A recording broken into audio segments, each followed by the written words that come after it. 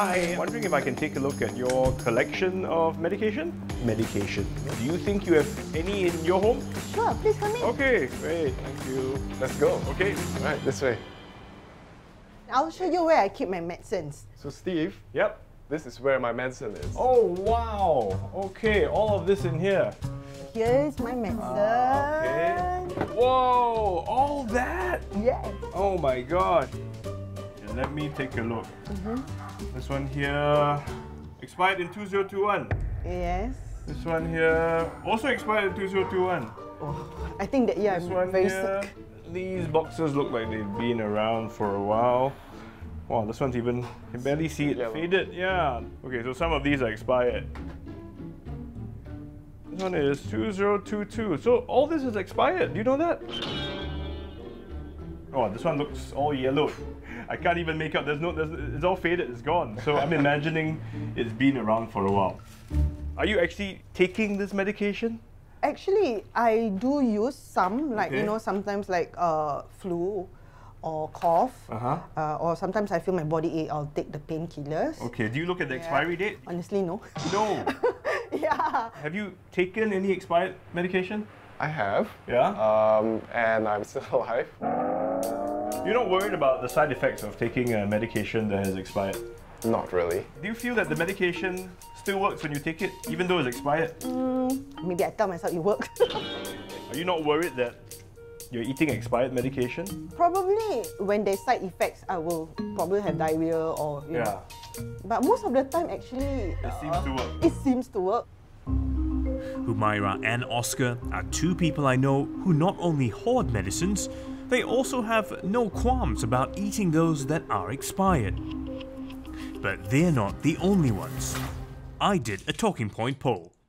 Have you got a stash of medication at home just like me? And have you ever checked the dates and gone, ooh, actually this has expired some time ago. Does it still work? Help me out with an upcoming episode of Talking Point with a few questions. We got more than 600 replies. So, 33% of you have taken expired medication, while another 19% don't even bother checking expiry dates when taking meds. So in this episode, I'm going to find out how effective these expired meds are and if they're even safe for us to take.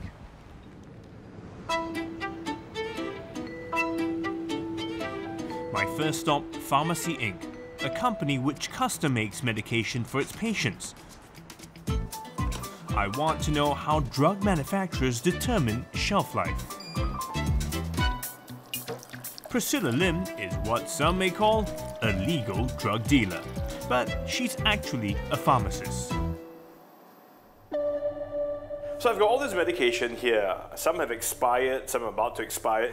What is the general shelf life for medication? Typically, for solid dosage form like tablets and capsules, it can be as short as six months up to as long as five years. Ah, Yeah, okay. and for liquid dosage form, it's usually on an average of two years. Um, and for eye drops, it can be one to two years of expiry. And you can have the compounded ones up to six months or so. You referred to compounded medication. What do you mean by that? Compounded preparations are custom made um, according to the unique needs of the patient. And uh, because they are made from scratch, so they typically have shorter shelf life. But why is it that some may have a five year shelf life versus this, which may only have two years, for example? Medications go through uh, rigorous real time stability testing um, to determine the shelf lives. The manufacturer usually will have to follow stability testing guidelines that has this kind of standard where they test within the set humidity, temperature control. At different time point, they will test on the potency of, of the medication um, to determine the shelf life. Uh, some of them have longer shelf life because they are chemically more stable. Uh, some of them have shorter because they are chemically not stable and they may degrade faster. For instance, this one says manufactured in 2019, expires in 2021. So it's like three years. Yeah, that means um, within these three years, you will still get that percentage uh, of potency Ah. medication and it's Oh. still effective. The shelf life is different for unopened product and open product. Like for example, eye drops, when they are not open, they are sterile. So sterile means there is no bacteria, no germs at all in the product. Okay. So once you open it, it's no longer sterile. Meaning you open and close um, and you use it every day. Um, you are introducing, you know, bacteria. Okay. Um, and therefore you have to discard usually within 30 days. Okay. So in other words, for a lot of these products, even though the expiry date on the bottle may be for two years, once I start using it, actually it could have a much shorter shelf life. That is correct. yeah. Different medicines have different shelf lives, and I'm told they are unlikely to be as effective after the expiry dates. But why do some people still think it works? Only one way to find out. I'm sending nine types of meds to be tested for efficacy and safety. They are the most common ones we store at home. All of our samples have passed the expiry date by at least a year.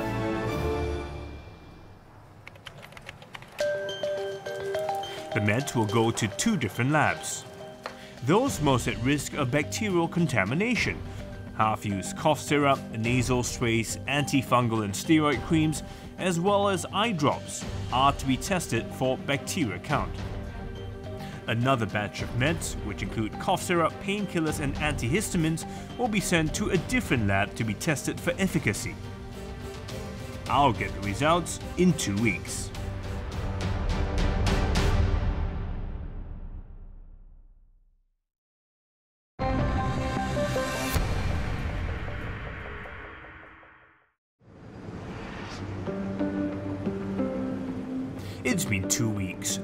Results of my lab tests are out. If you recall, I've sent expired meds we commonly store at home to two labs. One lab tested meds for efficacy and the other for bacteria. I'm heading first to Stats Asia Pacific to get the results of the bacteria test. I've sent two bottles of eye drops, two types of creams, two bottles of cough syrup, and a nasal spray to the lab. They've been open for more than 30 days, and all of them are at least a year over the expiry date. What are these results saying?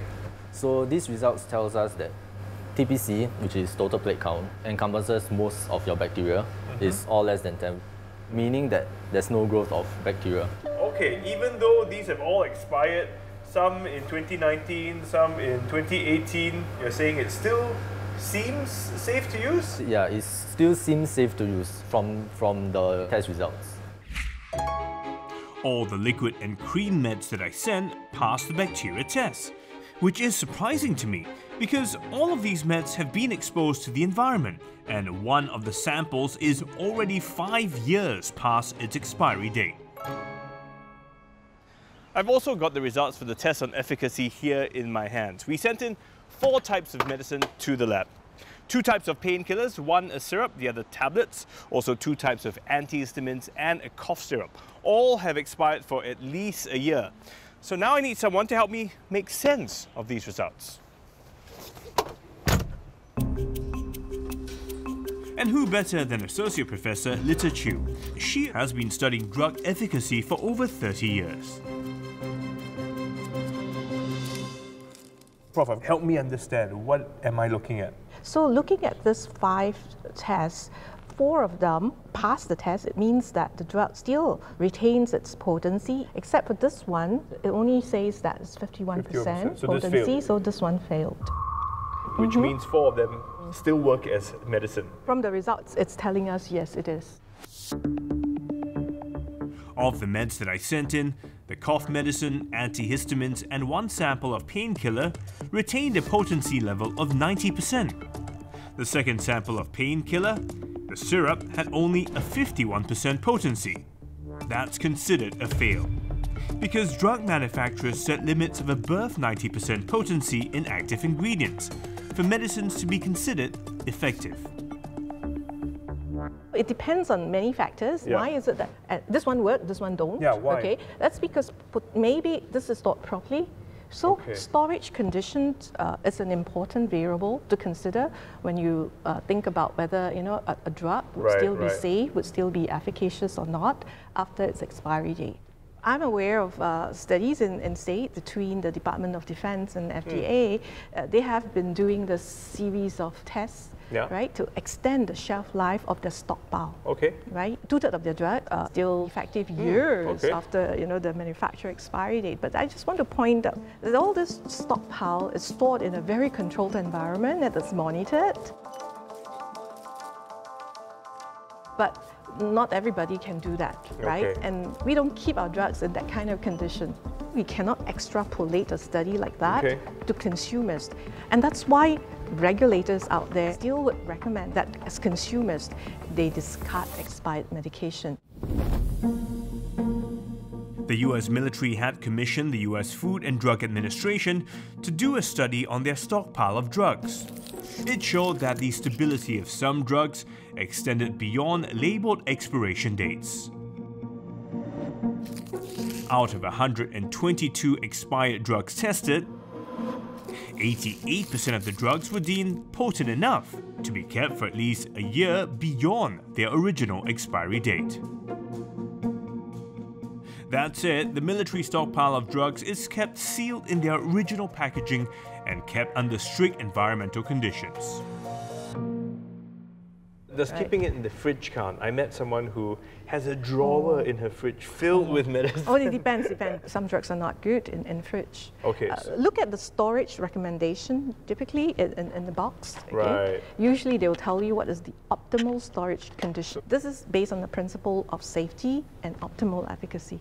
Is it fair to say then that all medicines start to degrade after the expiry date? Medication will start to degrade actually the moment it leaves the manufacturing plant. Oh, okay. Okay, so it's just the, how fast it degrades. Yeah, so I would still advise people to stick to the recommended uh, manufacturer expiry date Right. to assure the optimal efficacy. Expired meds may still be effective, but if you want 100% efficacy, you're better off buying new meds. But All the medication, you know, that we tested seems to a large extent still work, but the question is, how safe is it to take?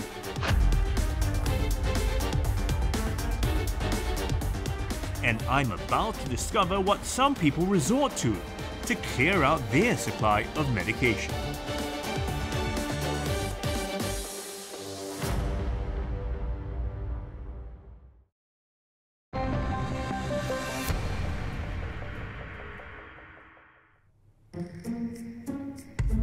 Expired meds can still be effective, but are they safe?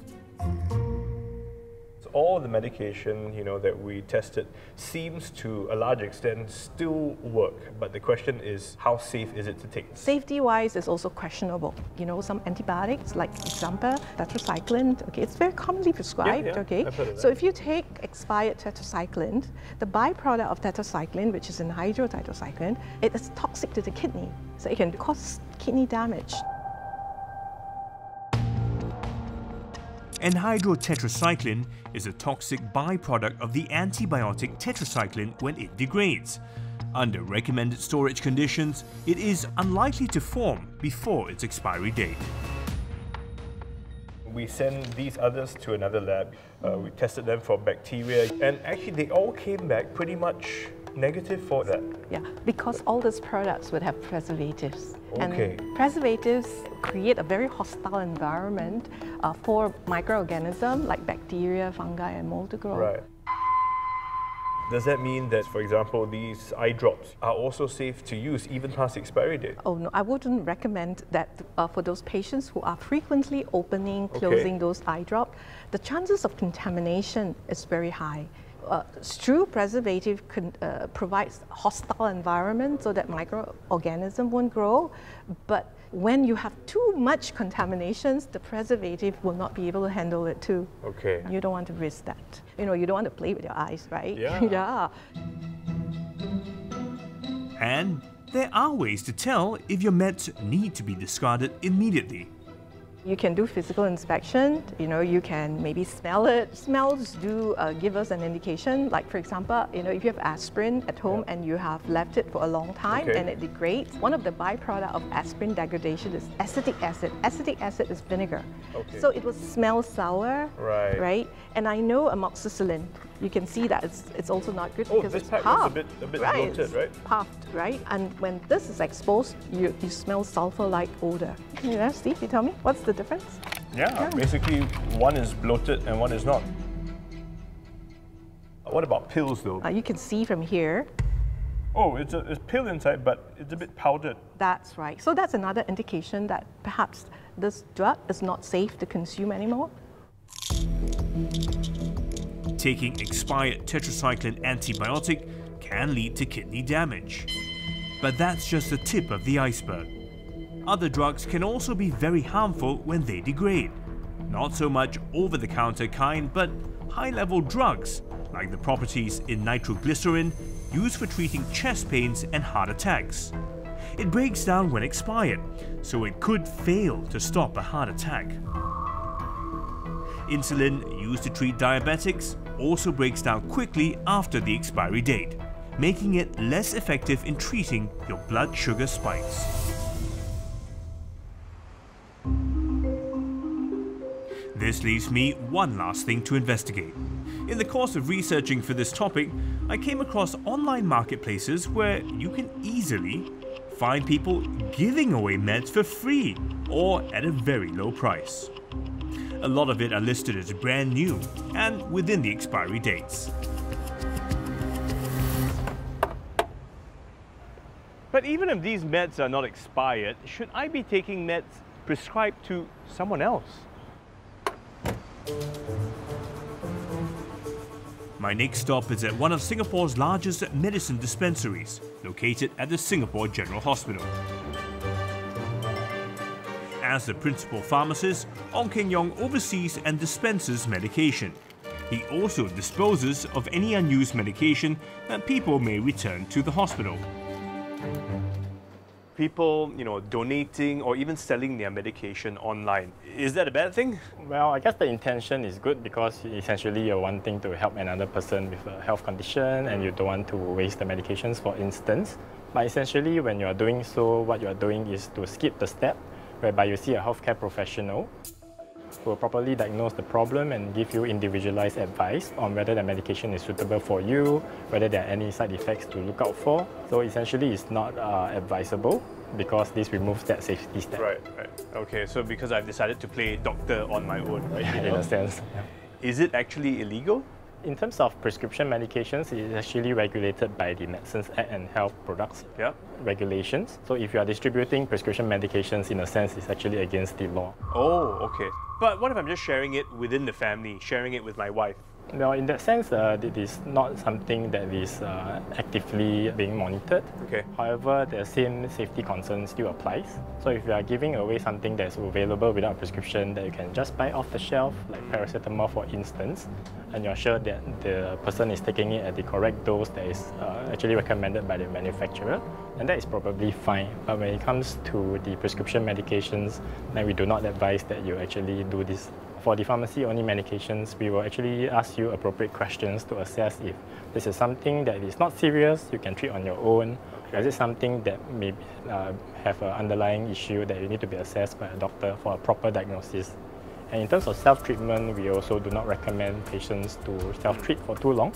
In general, if the condition does not improve after a few days or maybe one to two weeks, then we recommend a full assessment by a healthcare professional like a doctor so that we do not end up masking the symptom and hiding a bigger problem that is not discovered. Ah, what do you mean by masking? So in an extreme example, maybe someone has uh, some gastric discomfort. Yeah.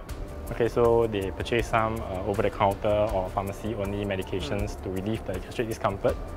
Okay, so it does go away, it treats the symptoms, but maybe underlying that, the problem that's causing it is maybe stomach cancer or a stomach ulcer. So I suddenly realized dosage can be different because sometimes the pills all look the same, but it could be 20 milligram, 40 milligram, or 50 milligram per pill, right? Yep. S- And if I'm not careful, I could be giving what more than I should be. Yeah, possibly. So, for instance, uh, some of the, the painkillers like, like Okay. paracetamol, they come in many forms. They may contain different amount of the active ingredient inside. So, if you just remember the drug name and you do not check the actual dosage instructions, you might end up taking the correct number of Okay. pills, but the actual dose you're receiving is much higher than it's actually intended for. Right.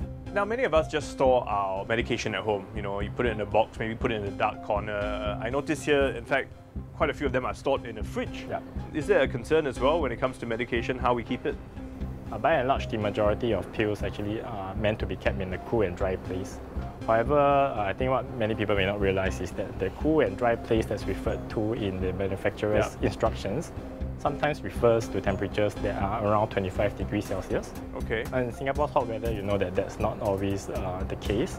So we have done a, a small experiment and the temperatures at home can range anything as high as 30 to 31 degrees Celsius. Okay. So under these uh, less than ideal conditions, actually there's a chance that the medication may deteriorate faster than it should. Right. And that actually brings down its shelf life and it may not last all the way to its expiry date. I see. So when it comes to medication, it's always better to be safe than sorry. If you have expired medication, throw them away. I've also learned that medication is best stored between 15 to 25 degrees Celsius, so you want to avoid places like your kitchen sink, stovetop, or next to the oven and fridge because this collects heat. If you think storing your medication inside the fridge is a good idea, well, think again. Some medication may get damaged because it's too cold.